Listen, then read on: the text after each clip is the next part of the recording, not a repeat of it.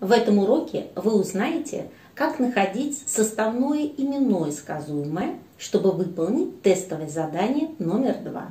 Составное именное сказуемое имеет следующую структуру.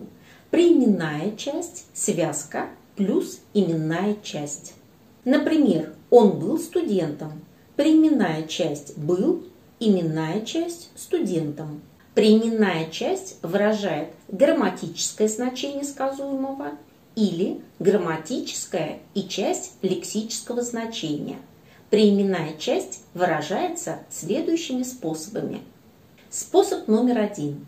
Преименная часть может выражаться глаголом связкой «быть» в форме одного из наклонений.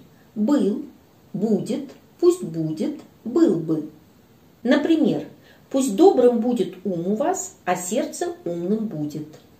Преименная часть выражена глаголом связкой «будет», сказуемое «добрым будет», «умным будет».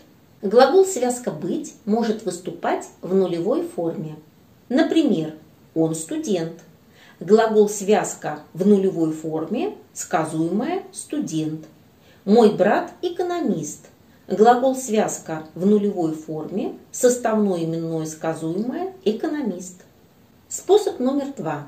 Преименная часть может выражаться глаголами связками являться, казаться, становиться, стать, сделаться, оставаться, оказаться, считаться, выглядеть.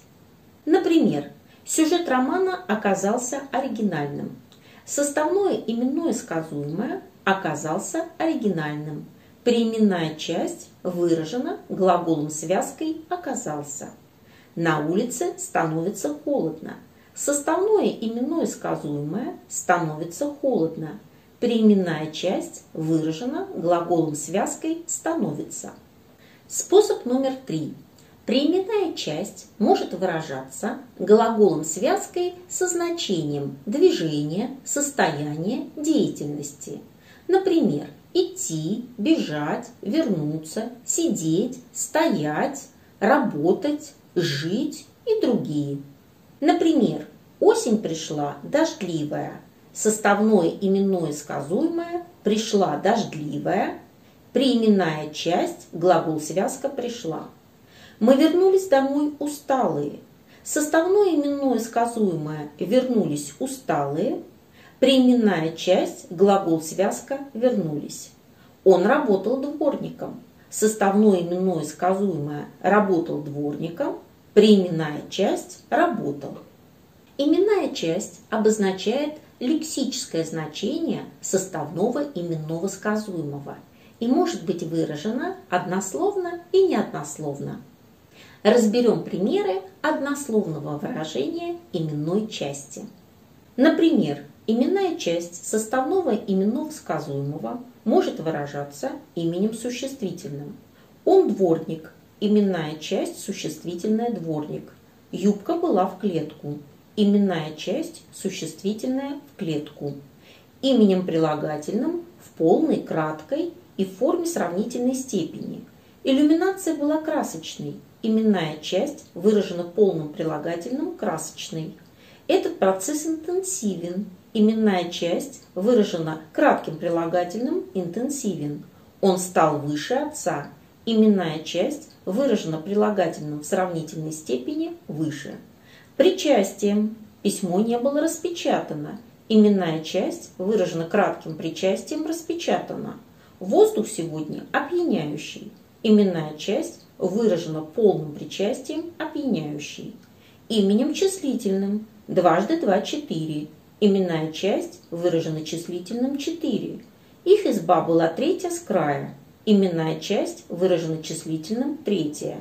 Местоимением он не такой.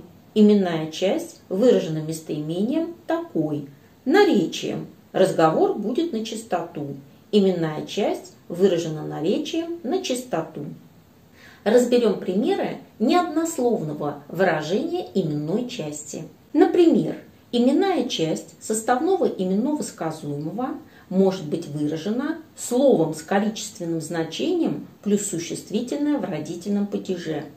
Юноша был лет 20, именная часть лет 20. Существительным, зависимым от него словами. Он лучший ученик в классе, именная часть лучший ученик. Мужчина был высокого роста, именная часть высокого роста. Фразеологизмом он стал притчей во языцах. Именная часть стал притчей во языцах. Это фразеологизм, который обозначает стал очень известным. Следует избегать ошибок при выделении составного именного сказуемого. Неверно могут определяться границы составного именного сказуемого. Например, сюжет комедии оказался оригинальным.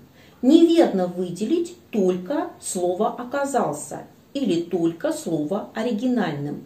Переименная часть «оказался» выражает грамматическое значение сказуемого. Именная часть оригинальным выражает лексическое значение сказуемого. А на следующем уроке мы обсудим с вами, как правильно выделить грамматическую основу в односоставном предложении. Поэтому подписывайтесь на мой канал.